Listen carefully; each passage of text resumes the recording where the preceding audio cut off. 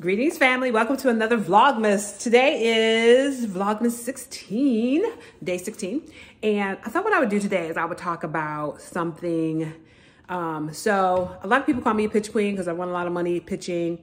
Um, and I'm sorry, y'all, I gotta move this camera just a slight little bit. Hope it's not too annoying. I don't know why it's not really balancing better. Okay, anyways, we'll do that. Okay. anyways, so today what I thought I'd talk about is non-dilutive funding. So like I said, people consider me a pitch queen because I've won several, not that, really not that many. I can count on one hand the number of times I've won. I have pitched at least over a hundred times and probably won uh, five times. And, um, but, but I think because some of the events that I've pitched for got a lot of kind of um, publicity. And so therefore that's what people know.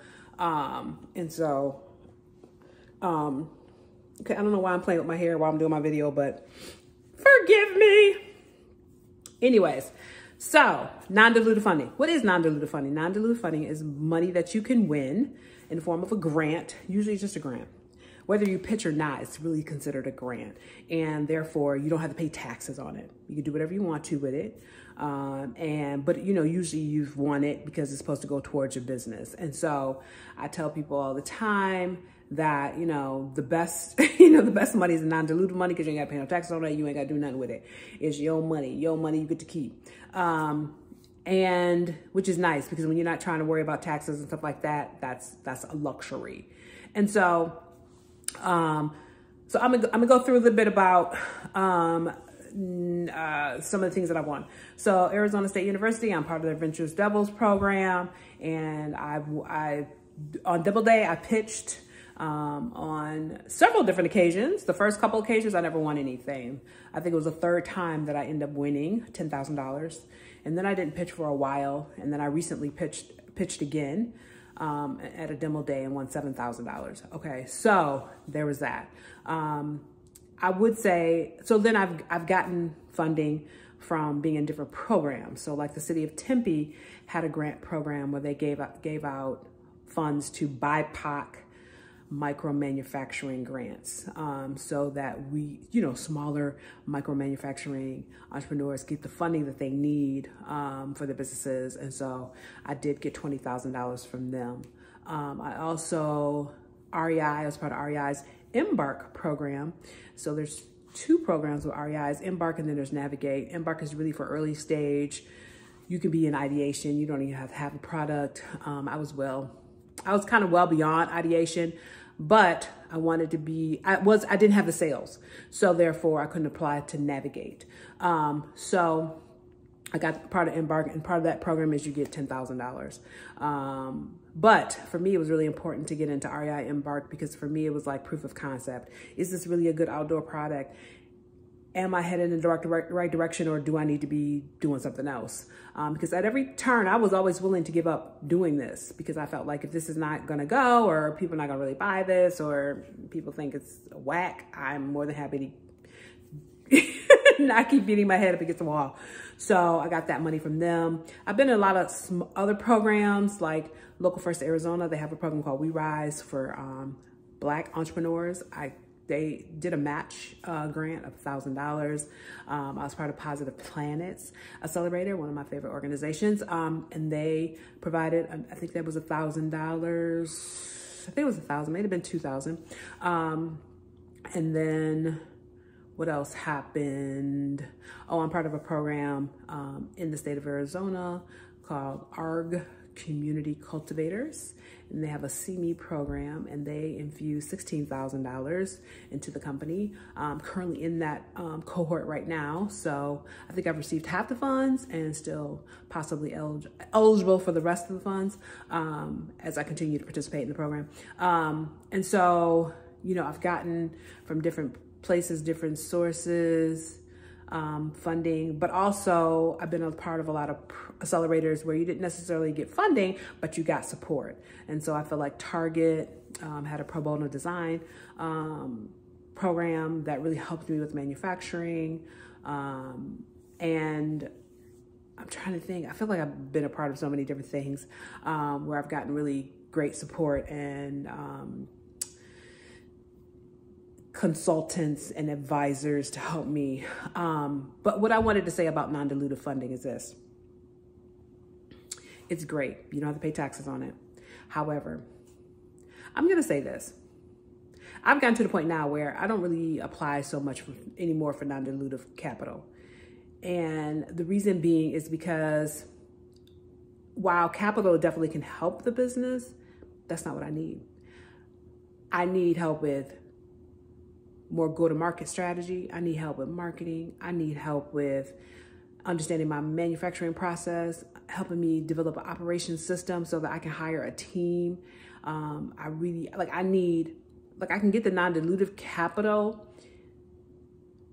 and I've used non-dilutive capital for teams and staff and things always didn't go well. And I think it's because I just didn't have my ducks in a row. All the things I need to do in preparation of having a team and having having systems and understanding my business. Um, yeah, so I feel like now, you know, I really, I, I feel like I need to go back to the drawing board. I need to start all over again almost. And because I need like, for instance, this summer, I got to work with a consultant who helped me with creating a, um, a, kind of book that explains Conscious Gear, that lays out what the company is about, um, it's a man, it's an employee handbook, onboarding manual. That's what it is. And I'm so excited about that because I feel like when people come to the company, I want them to understand what it is. They're who, this is just not just some fly by night company, but this is a real company. I also like that we worked on standard operating procedures around certain things. Like when I sent out my VestaPak, oh my God. Um, yes, we do some co-manufacturing with Asia, but there's so many different things that happen in here in our company with the vest. There, there are additions that I make. There's a ways in which I do, um, I make certain changes because I want it to be, um, I want it to be at the highest quality possible. And I want to make it, make sure that it's easier for people to use. So yeah, mm. So yeah, like been putting it, and then also just how to pack it up, how to make sure that it has all the information that it needs when it goes out, making sure that it it's folded a certain way because you do have the water bladder and the vest. And so it's just like a lot of different things. And so I'm realizing like, wow, um,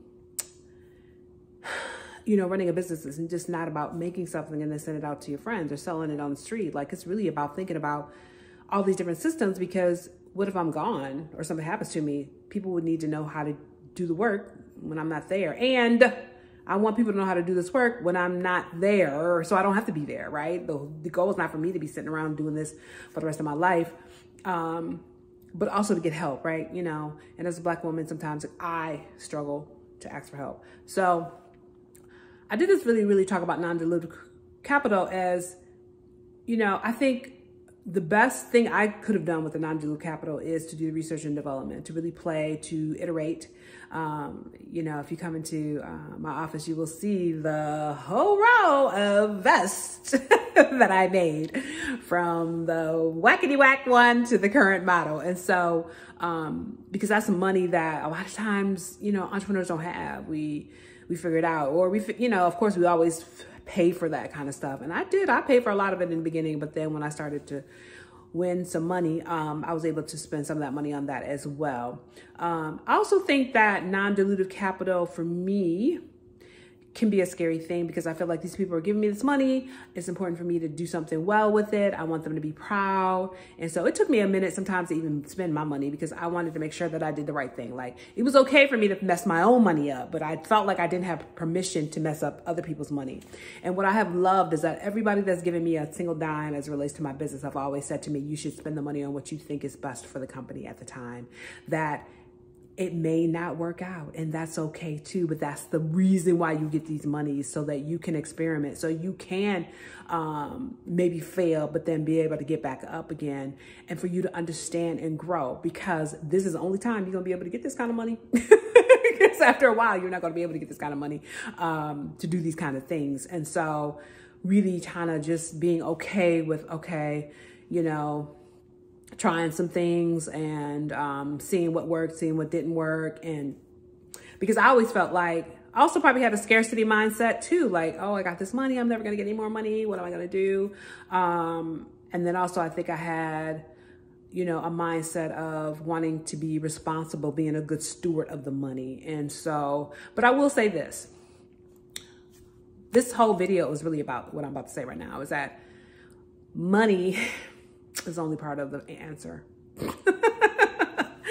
it's so only a part of the answer. And I think for me, like, I just would run up against a lot of different challenges and I would try to reach out to all my mentors and advisors. And there were, there have been multiple times when I've had a challenge that none of them could really help me with. And sometimes they refer me to other people and then they couldn't even help me with it. And so I, you know, what I'm really struggling with right now, it's like, yeah, I can continue to apply for more non-dilutive capital and I probably will get it. But at some point in time, I've got to figure out how to bring on the kind of help that I specifically need as it relates to run my business. And I get the feeling that it's not no one person, it's not no two persons. I think that it is a team of people that we start to figure things out. That if if there's anything I'm going to do with any non-dilutive capital, and I probably when I think about applying for more non-dilutive capital, I will take this in consideration is that really for team. I need a team. Like I need people to come. I, you know what I mean? And I need people that I pay them a good salary. They come on board, they do their thing, right? And me, for me to just be, be in the midst of all that um, because I can have all the money in the world. It's still not going to propel my business forward if I don't know how to do marketing, if I don't know how to successfully create a customer journey um, that people feel compelled enough to share with other people so that other customers will come. You know what I mean? So I'm really in this space of like, I'm appreciative of all the non-dilutive capital that I've, I've, I've been given. Thank you guys so much for all your generous support of me and my brand. But it's time in for really creating the nuts and bolts and infrastructure of a business.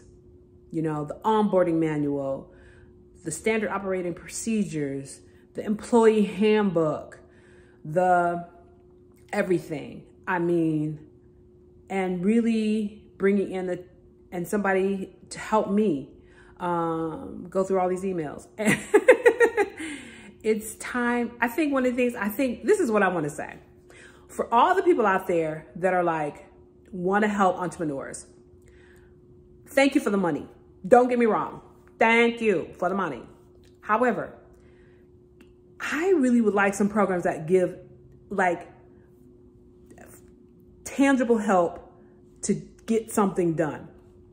Like Targets Pro Bono.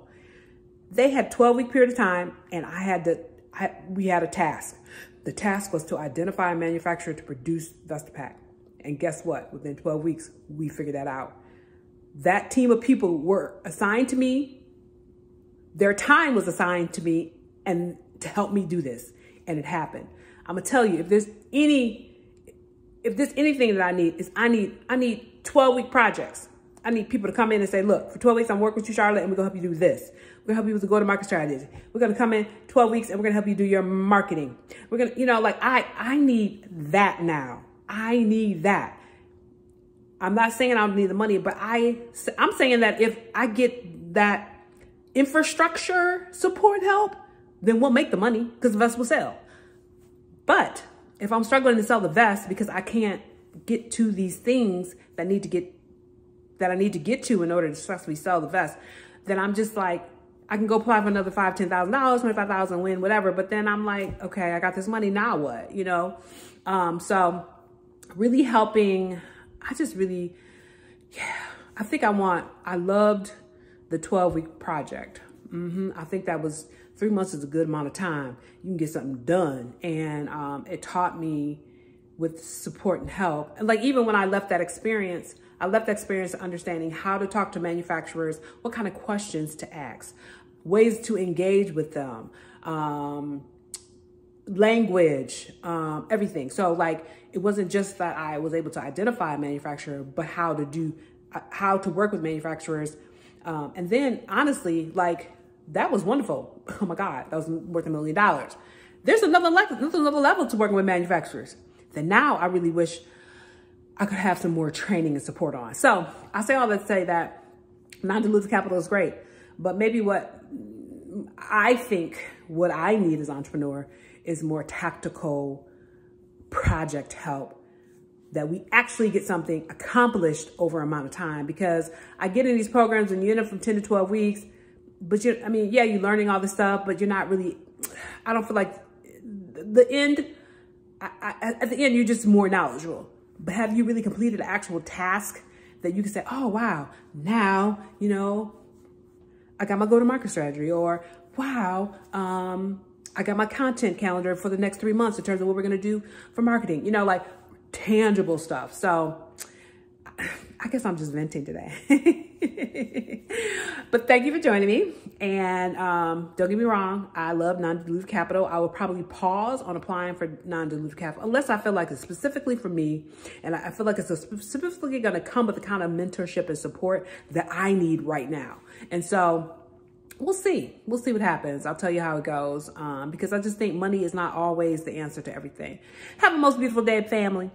You know, as always, I love you. Take good care of yourselves, and I'll see you in the next video. Peace and a whole bunch of love.